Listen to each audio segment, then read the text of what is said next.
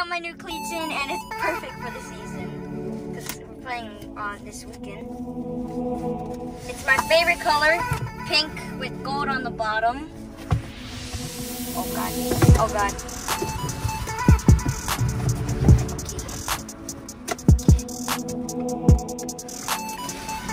So I designed it by